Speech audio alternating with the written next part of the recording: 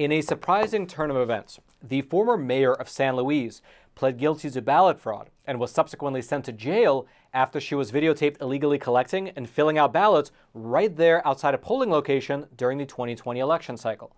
But this story has a bit of a twist, because even more surprising than the former mayor going to jail for ballot fraud is what happened to the political careers of the several women who were implicated in this San Luis ballot fraud operation. And so let's go through it together. To start with, this woman right here is Miss Guillermina Fuentes. She used to be the mayor of a town right there on the US Mexico border called San Luis. It's located in Yuma County, Arizona. And according to this report that you can see up on your screen, it was written by the State Attorney General's office. What happened was that an investigation was opened into Ms. Fuentes after someone happened to record a video of her collecting as well as filling out ballots at a table right outside of a polling place during the 2020 municipal primary elections. Now, for your reference, this video was taken by Mr. Gary Garcia Snyder, who was at that time a Republican candidate running for city council. And when he was sitting in his car and he saw what was happening at the polling site, he took out his phone and recorded the entire thing. I'll play for you a small part of that video. Now, this video doesn't actually have any audio to it, and so as you're watching it, I'll read to you the report from the Attorney General's office which describes what's taking place. Quote, a group of subjects, led by Guillermina Fuentes, were seen on video manning a table and appearing to be supporting particular candidates. A female identified as Alma Juarez approached the table and made contact with a second female identified as Guillermina Fuentes. Fuentes is ultimately observed taking a ballot from Juarez. In the video, it is clear that the ballot envelope was unsealed. Fuentes was observed to pick up a pen or a pencil and write on the ballot envelope. She then pulls the ballot out of the envelope and makes three marks consistent with the filling in of spaces on a ballot to make a candidate selection. Fuentes put the ballot back in the envelope and sealed it. She then retrieved several more ballot envelopes from a folder on the table and handed them to Juarez. Juarez then walked toward the polling location. Investigators also mentioned in their report that Ms. Fuentes was using her position within the San Luis community to persuade local voters to allow either her or her acquaintances to deposit ballots on their behalf. And just in case you're wondering, within the state of Arizona, this practice is indeed illegal because according to Arizona's anti ballot harvesting law, it is a felony for anyone to turn in the early ballots of other people unless those other people happen to be family members, household members, or caregivers. Outside of these three exceptions, ballot harvesting is outright illegal. And so after this video emerged and the subsequent investigation was conducted and completed, Ms. Fuentes, alongside her associate, Ms. Alma Juarez, the other woman in that videotape, both of them were charged with one count each of ballot abuse, a charge that I should mention both women wound up pleading guilty to. And eventually, the women were handed down their punishments. Ms. Guillermina Fuentes was sentenced to 30 days in jail, as well as two years of supervised probation, while her accomplice, Ms. Alma Juarez, was given no jail time and only sentenced to one year of probation. However, this was not the end of the story, because shortly after these two women were given their sentences, another development occurred within the city of San Luis. The Arizona Attorney General's office, they made an announcement saying that another pair of women were also indicted in a Yuma County ballot harvesting scheme.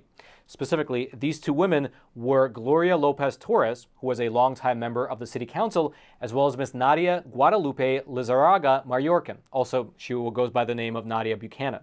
Both of these two women were charged with two Class 6 felonies, one for conspiracy and the other for ballot abuse. Here is specifically what a statement from the Attorney General's office said when announcing these indictments. Quote, Attorney General Mark Brnovich announced that Gloria Lopez Torres of San Luis and Nadia Guadalupe Lizarraga Mayorquin of San Luis, also known as Nadia Buchanan, have been charged by the state grand jury with conspiracy and ballot abuse arising from alleged ballot harvesting scheme where early ballots from other voters were collected and deposited into a ballot box on primary election day, August 4, 2020. The city of San Luis held municipal elections on that date. And what's really interesting to note here is that when you look into the details of this state level investigation, it actually sheds quite a bit of light into what was truly happening behind the scenes, meaning it sheds light on how these alleged ballot harvesting schemes were actually playing themselves out at the ground level. And so, to give you a bit of background here, as well as the general scale of this whole ballot harvesting operation, here's an excerpt from a report that was published in the Arizona Daily Independent newspaper. Quote, News of the indictment of Councilwoman Torres, who also serves as membership coordinator for a San Luis-based property management company, has been expected for several weeks. Back in May, Torres's cell phone was seized as part of a court approved search warrant that also allowed for Torres's home to be searched. At the time when the cell phone was seized, Torres's boss at the property management company publicly criticized Attorney General Mark Brnovich for his handling of the investigation. That boss, Marco Tony Reyes, is also the chairman of Yuma County's Board of Supervisors. And so, just to pause here for a quick moment, you can already begin to see how just well connected this woman actually is. Because not only is she a member of the city council, not only is she a member of the local school board, but also her boss at the company that she works for also happens to be the chairman of the Yuma County Board of Supervisors. Regardless, the report continues by describing the method of their investigation as well as exactly how this alleged ballot harvesting operation was taking place. Quote, but Councilwoman Torres had been a focus of Special Agent Roger Geisler and other investigators long before then. One investigatory report obtained by the Arizona Daily Independent shows two Attorney General's Office special agents traveled to San Luis in January of 2021 to obtain Torres's fingerprints under a court approved search warrant. Now, I will mention that fingerprints played a fairly large role in this whole investigation, with both the FBI as well as the Arizona Department of Public Safety's crime lab being able to lift prints from both dozens of ballots as well as the envelopes that those ballots came in. The report continues, quote, Other Attorney General's office records reveal a photo of Torres was shown to at least one witness who told agents she left two 2020 primary election ballots outside her door for someone to pick up and deliver to a polling place. In his report, Special Agent Roger Geisler wrote this about an interview he conducted. The witness confirmed receiving a call about leaving their ballots for someone to collect and deliver for them. Geisler further noted that the witness observed the unnamed woman come to the door and collect the ballots. Which, again, as we mentioned earlier in the episode, within the state of Arizona, this type of ballot harvesting operation that's being described here is overtly illegal, unless this woman was leaving and picking up ballots only from the doorsteps of her immediate family members, which was obviously not the case. Regardless, here's what wound up happening with these two particular women. You had Miss Nadia Buchanan plead guilty to one misdemeanor count of ballot abuse, and she was sentenced to 24 months of probation, as well as ordered to pay a fine of $2,500. And then, secondly, and perhaps more interestingly, you had Miss Gloria Torres also plead guilty to one misdemeanor count of ballot abuse. She was also sentenced to 24 months of probation, as well as a $2,500 fine. However, and here's the interesting part Ms. Gloria Torres is a sitting member of the San Luis City Council, and as a part of her guilty plea, moving forward, she will not be allowed to run for re election, nor will she be allowed to be appointed to public office ever again. However, she was allowed to finish the remainder of her current term in office, which ends in December of 2024, meaning, as a practical matter, that Ms. Gloria Torres will continue to be in office until the end of this year. And here's the cherry on top. Just a few months ago, the San Luis City Council actually selected Gloria Torres to be the city's new vice mayor. I repeat, despite everything that we've discussed thus far in today's episode, the City Council of San Luis selected Ms. Gloria Torres to be their new vice mayor. You can make of that what you will. Regardless, if you'd like to go deeper into anything we discussed in today's episode, including uh, a link to the full videotape showing what was taking place outside of the polling location in the year 2020, I'll throw all those links down into the description box below this video if you're the type of person that likes to dig into the weeds. And all I ask in return is that as you're making your way down there to those links, take a super quick detour to smash those like and subscribe buttons so that the YouTube algorithm will be quite literally forced to share this information out to ever more people. All right, just to pause here for a super quick moment. Listen, as we're getting closer and closer to another critical election, it's not only imperative to cast your vote, it's also really important to elevate your voice, which is where the sponsor of today's episode comes in AMAC, which stands for the Association of Mature American Citizens. Now, AMAC is more than just a senior discount organization. What they do is that they unite like minded American patriots who are committed to preserving traditional values and who actively oppose the socialist agenda.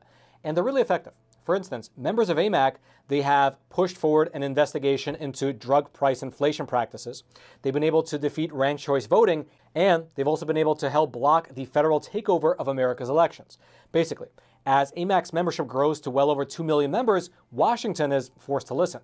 And every new member strengthens this movement. And so, if you happen to love America, visit amac.us forward slash facts to become a four year member for just $30. And as a practical matter, and besides the community, as a practical matter, membership in AMAC gives you access to the AMAC magazine, free Social Security and Medicare guidance, money saving discounts, access to sweepstakes, and a lot more. You can actually check out the full list of benefits over on their website. Just head on over to amac.us forward slash facts and take advantage of their election year special four years for just $30. I'll also throw the link, it'll be down there in the description box below.